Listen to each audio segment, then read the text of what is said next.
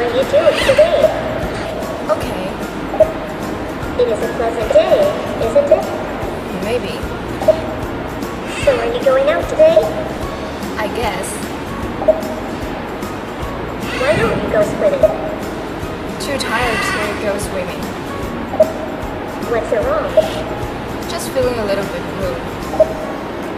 Okay, would you like to talk about it? Yes, So are you having trouble at college? kind of. What kind of trouble? I don't have friends. Oh, perhaps you can enroll in some interest groups. Trust me, that might help. Good idea, I'll try. Right, go ahead. You certainly will make more friends.